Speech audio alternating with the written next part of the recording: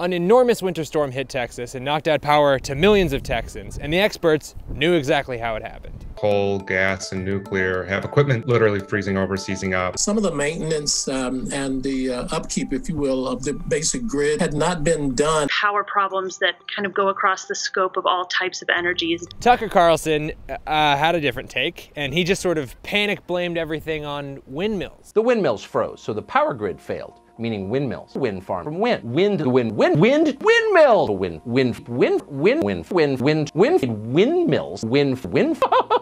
Except your windmills, bigots! Windmills did all this. This is, of course, obviously a lie, and you can tell it's a lie because it's the exact opposite of what all the Texas energy experts, grid operators, and regulators all independently reported. In fact, grid operators expected just 7% of their forecasted winter capacity to come from wind and 80% from natural gas, coal, and nuclear. Also, here's a bunch of examples of wind turbines working in much colder climates and temperatures than the Texas cold snap. But you can't just like admit you were lying, right? I mean, this is the news, baby. It's not Canada. So all these other bing bongs just had to sort of go with the windmill thing? The cold crippling Texas's power grid, and part of the reason why is because wind turbines are frozen. Uh, but you saw from what Trace said, uh, and that is our wind and our solar got shut down, and, and they were uh, collectively more than 10% of our power grid. And that thrust Texas into a situation where it was lacking power in a statewide basis. They froze up last night no wind out there. Destroy the natural environment with Chinese made windmills. And so by Thursday, they're all swearing up and down that Texas, Texas, is like this beta male Green New Deal wind commune that's completely reliant on wind energy. And it's insane because people keep really good track of where electricity comes from. And now it's a huge mess. And let's get into what the absolute hell is happening in Texas. In America, there are three grids. The eastern United States, the western United States, and just Texas. Anyway, the grid is managed by the Electric Reliability Council of Texas, or ERCOT. The ERCOT grid is largely deregulated because Texas companies can make more money that way, but more importantly, it's mostly disconnected from the other two larger grids. So when outages occur, it's not that easy to pull extra energy from outside. ERCOT has to be really good with planning and fixing infrastructure problems if they want to prevent outages. And as it turns out, they're not. Texas, you may recall, is a state that is overwhelmingly powered by natural gas and coal.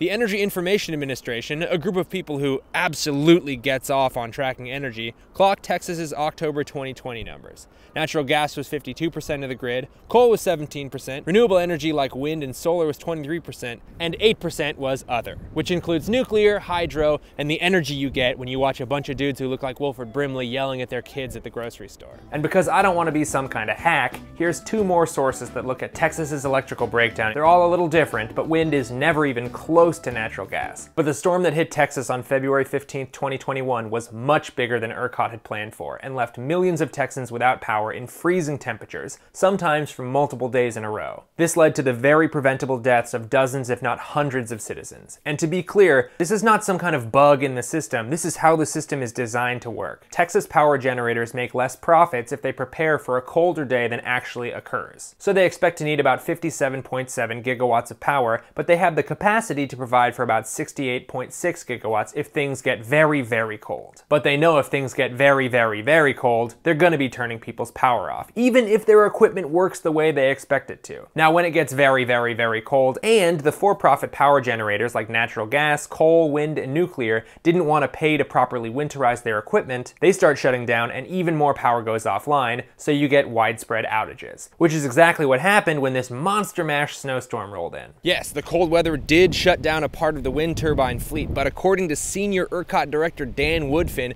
wind turbines accounted for about 13% of total outages. The majority of the outages and the reason why Texans lost their power was due to natural gas equipment failing in the cold temperatures and a spike in natural gas demand that they couldn't supply. Similar shutdowns happened to coal and nuclear plants, further boning an already super boned system. And that's just what we know as of February 19th. I mean, there's a bunch more stuff that's gonna come out after the smoke clears.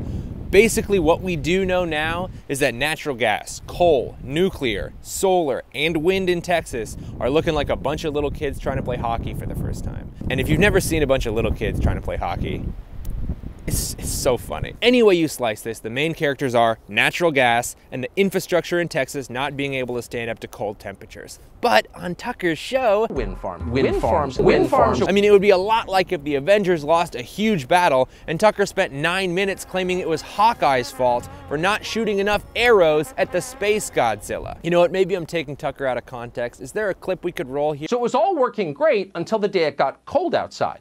The windmills failed, like the silly fashion accessories they are, and people in Texas died. A lot more of them than died at the Capitol on January 6th, by the way, just for reference.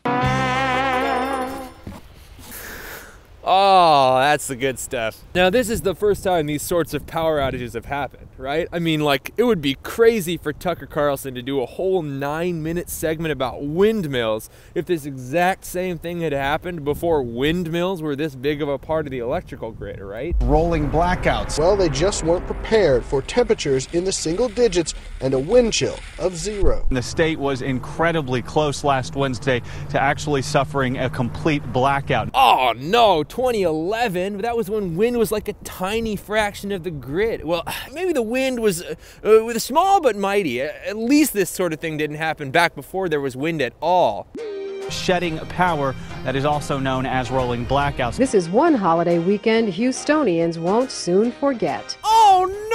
1989? This thing happened in 1989 too? Oh, geez. But surely there was no federal report written that investigated the cause of the 2011 blackouts, determined them to be natural gas related, and gave exact recommendations on how to fix these in the future, right? It's 350 pages of exhaustive analysis provided to you by the good folks at FERC, or the Federal Energy Regulatory Commission. You know let's go ahead and scroll through this bad boy to a section confusingly titled Recommendations, whatever that means.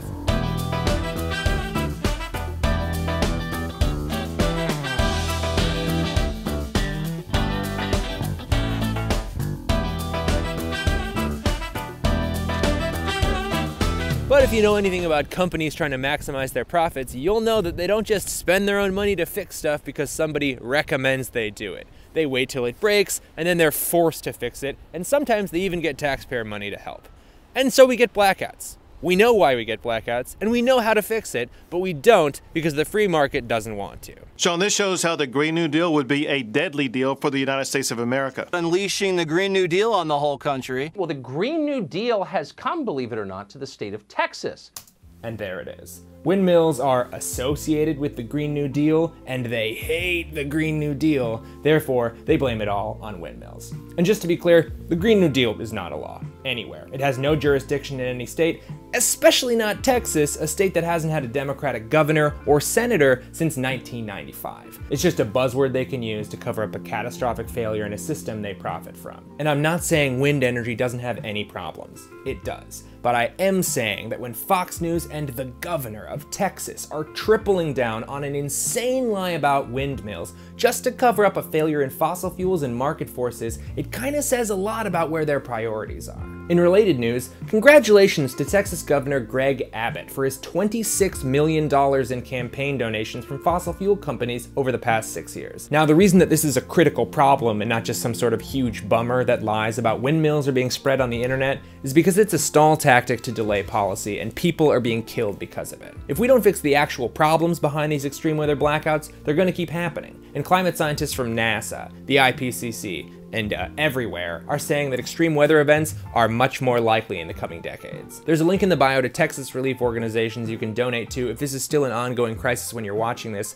but generally, this is the time to get involved in climate organizations. Start learning about the science and the policy, and most importantly, get loud about climate change. Because I can barely hear anything over the sound of these goddamn windmills! Humming and buzzing and chopping up birds. That's what a wind turbine is. I have not tried marijuana.